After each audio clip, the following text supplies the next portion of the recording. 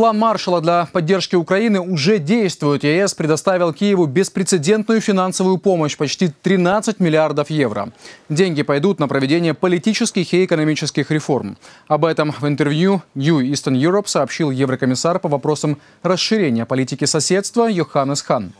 Главная задача – обеспечить оптимальное использование грантов и кредитов для улучшения бизнес-климата, судебной системы и борьбы с коррупцией, отметил Хан.